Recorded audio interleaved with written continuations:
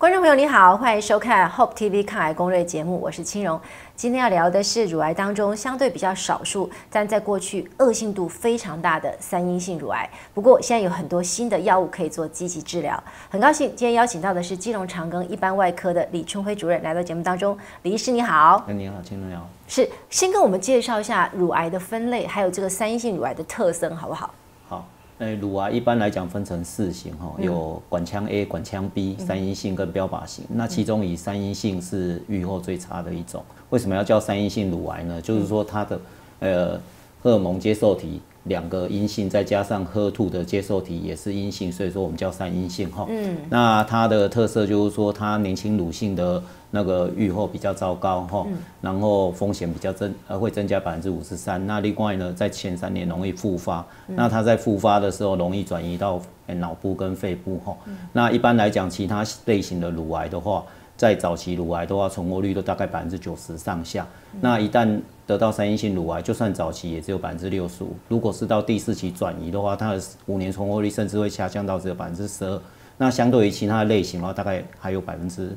三十几到四十左右，所以说它是相当恶性的一种乳癌哦。所以我们看到乳癌的几个分类当中，管腔型占到百分之六十。对，好，这个 HER2 阳性的也有到二十五个百分点。对对对。那但是这些都相对是比较容易治疗的。对。所以三阴性的治疗策略在过去跟现在有什么不同啊？在过去大部分是以手术跟化疗为主了哈。那一般来讲的话，就是用传统一些化疗药物，但是因为它诶，恶性度比较高，容易复发，所以说一般来讲，病人就会打第一线的化疗，第二线的化疗，嗯，呃，反复的治疗，那病人就必须要承受这些副作用哈。那因为现在有很多新式的药物出现嘛，呃，有一些免疫抑制剂啊，免疫检查点抑制剂，还有一些呃标靶型的药物的话，都可以让现在治疗成绩大幅的进步。所以说，现在得到三性乳癌，在医生适当的治疗之下，也会有不错的治疗效果。因为我妈妈是大概在二十年前得三阴性乳癌，嗯嗯，其实那时候以为想说，哎，很高兴啊，因为做完化疗什么都不用做，因为其他人他要做抗荷尔蒙治疗，他不用啊，我们以为这，哎，这挺好。后来听说哈，他很恶性的时候，就蛮担心，但好像当时也没有办法，他打的就是小红梅。因为以往打小红梅跟紫杉醇大概是主力的药物了，但是如果病人因为他在三年内容易早期复发，所以说复发的时候你可能又要打其他的药物，嗯，会打第二线、第三线，那每种药物的副作用不一样，病人就要承担这些副作用的，呃。就是说会蛮很多副作用，对。那新式的治疗里面，我们现在有看到所谓的 PARP 抑制剂，也就是要具有 BRCA 基因的阳性，还有 PDL1 的免疫药物，还有新一代的所谓抗体药物复合体，这个是 ADC，这个就是三阴性乳癌的希望了哈。我们接下来逐一来介绍一下。我们先看到这一个是三阴性乳癌新式的所谓的 PARP 抑制剂，光是 PARP，很多的观众朋友可能就不太懂，说，哎，这是什么东西？它是标靶吗？呃，不是，因为我们的基因它最主要是分单股的 DNA 跟双股的 DNA 哈。那这种这个 PARP inhibitor 就是 PARP 抑制剂，它就是说去抑制单股的 DNA。那这个如果说有这个基因突变的病人，他双股的 DNA 的修复也有问题，所以他单股的基基因修复跟双股的基因修复都导致出问题的时候，就有一个合成致死的效果。所以说这个药物呢，在特定的人的话呢，它就会有。很好的治疗效果，所以这个药物虽然有效，但是要用在特定的人士才会有帮助。所有的特定人就是那百分之五到六 percent 有 BRCA 基因突变。对，那基因突变的话，它最主要这个基因是拿来修复双股 DNA。那如果说癌细胞的 DNA 有问题的话呢，它就会，呃，它这个基因有突变的话，会造造成它没办法修复它的那个 DNA 是双股的。那这个药呢，它是负责就是说。抑去抑制它修复这个单股的 DNA，如果单股、双股都没办法修复的时候，那这个癌细胞就会因为没有办法自行修复，就会凋亡。所以，我们这个东西是要去抑制癌细胞本身修复对基因突变的功能。对，那它会不会顺便把我自己本身的基因突变修复的功能也抑制掉？因为它是这个目标是癌细胞，因为癌细胞它在生长的过程中，它不断要不断的复制，才能够增加它的细胞量，然后去。去做转移，然后去伤害我们的身体。那你今天癌细胞呢，在分裂的过程中，就是因为说它没办法自我修复，那导致它制造出来的新的癌细胞就死掉了。对，所以再加上这个药物的帮忙呢，会让它没有办法不断的制造细胞，那到最后这个肿瘤细没办法成长，然后就会面临凋亡。所以这个药物的作用呢，在呃无疾病恶化存活期的这个跟化疗的比较，如果只打传统化疗是四点二个月，对可是如果你刚好符合这个条件的话，它可以到七个月。第二种啊，这个是所谓的 PD one 的，也就是免疫药物了哈。对这个免疫治疗在三阴性乳癌现在效果如何？目前为止是几乎是大部分三阴性乳癌治疗上面是我们临床医生常用的药物哈。嗯嗯。那什么叫做免疫检查点呢？就是说它在细胞在分裂过程中，它的这个免疫细胞会去辨识出我们的癌细胞。嗯。哦，那靠的就是这个免疫检查点。嗯。呃。PDL one 哈，它在呃辨识出来这个接受体的时候，就认为它是癌细胞，然后就会去去毒杀癌细胞。但是有这个接受体的癌细胞，这个免疫细胞会把它辨识为正常的细胞。嗯，那如果把它辨识为正常细胞，免疫细胞就停止攻击它。嗯，那这个是我们不乐见的嘛？我们都希望我们的免疫细胞去攻击癌细胞。所以说呢，这个药物呢，它是会去让免疫细胞可以正确的辨识出来这是癌细胞，而增强我们的那个。免疫细胞毒杀癌细胞的能力，所以这个 PD one 免疫药物会让这个呃刹车失灵，好启动我们的免疫 T 细胞去攻击癌细胞，就是癌细胞已经把它锁住了，你又去把它打开，对对吧？让你的那个 T 细胞能够活过来，对对。啊，它的效果，它现在用的呃是手术前、手术后都有用是吗？对。哦，那运用的蛮广的哈。对对对对。哦，辅助性治疗是针对手术前后高风险的早期三阴性乳癌，所以现在早期就在用了。对，如果早期乳癌它是属于复发高风险的，我们会让病人开始使用这个药物。复发高风险是什么意思？就是说，好比说他淋巴腺有转移，或者是说一开始他的肿瘤很大，嗯，那一种都属于复发高风险的。嗯，淋巴转移一颗跟淋巴转移十颗，当然复发风险会不一样。也就是它不是第一期喽。对。可能是第二期，第二期以上。那复发转移之后的第一线治疗，也可以用三阴性的乳癌就对了。哦，OK。另外一种就是现在更新的哈，这个叫做新一代的 ADC 标靶。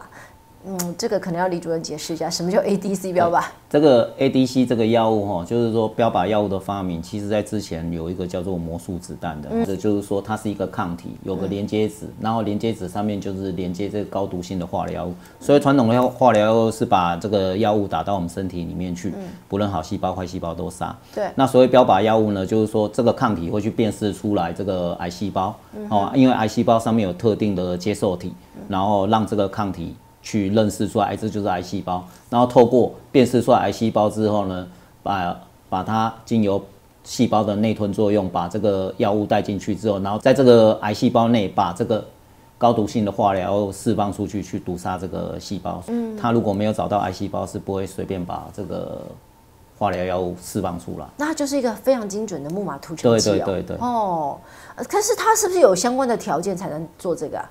什么叫做 TROP？对对对，因为在几乎我们所有的癌症里面都有这个 TROP2 的接受器。嗯，那经由这个临床实验的话呢，告诉我们就是说，哎，三阴性的乳癌细胞其实在使用这个药物特别的有效。哦，所以说呢，在跟传统化疗做比较的话，它肿瘤可以缩小七倍，然后疾病恶化的风险可以下降百分之五十九，那平均存活率哎达到十二个点一个月，所以说这个疗效是相当的好。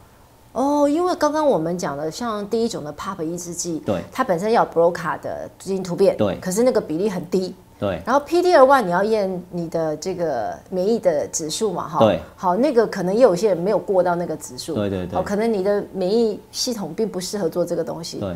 但是这个有百分之九十五的人是具有这个 TROP2 的，就可以做，对。而且健保几乎用在转移性的乳癌，所以这是一个比较新的药物嘛，哈。另外，这个我这案例是。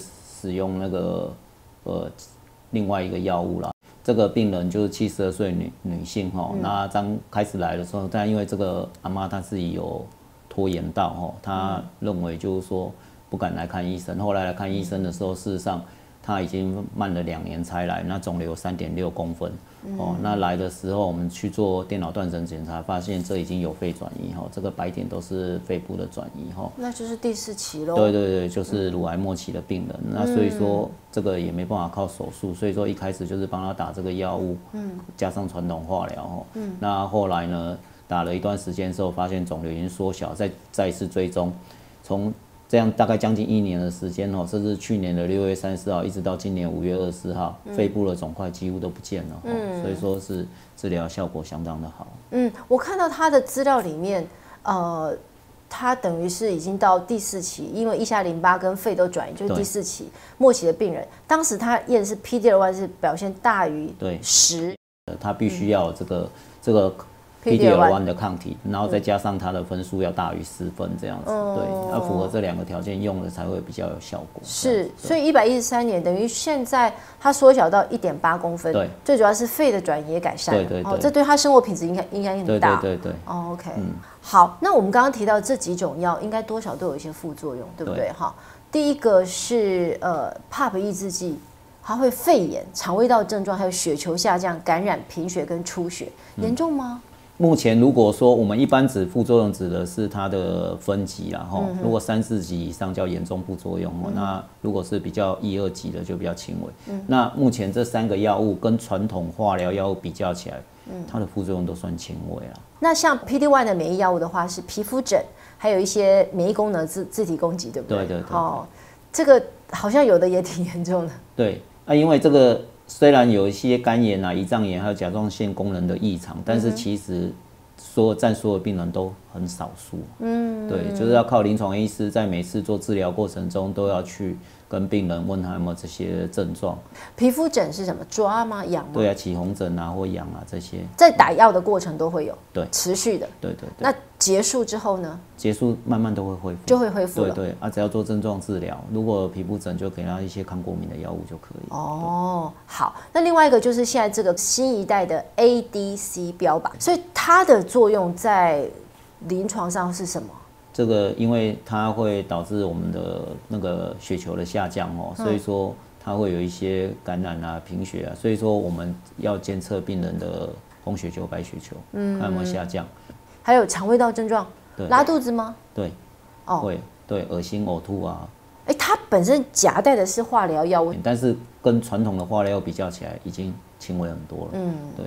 应该说，以前的三阴性乳癌只有化疗可以选择，嗯，所以那些化疗巨大的副作用都必须要承担嘛。对对对。但是现在因为有更多的药物可以搭配的一起使用，所以有一些药物的副作用其实相对于以前的化疗好很多。对。哦，对医生来说应该困扰也比较少哈，只要给予一些症状治疗就好，对，没有生命危险的哈。对，呃。不过有一些像这些肺炎啊什么的，如果说临床医生没有早期侦测到的话，有时候还是会严重到会有一些甚至会有生命危险，哦还是还是会有。哦，所以所以您的建议是，就是说还是要我们临床医生都会监控这些病人的状况啊。嗯，对，有任何不舒服啊，像有些早期的肺炎，那甚至只是轻微的咳嗽，有些病人会不以为意啊。嗯，对，但是如果没有跟我们医生讲的话，到变得很严重的时候，有时候要有。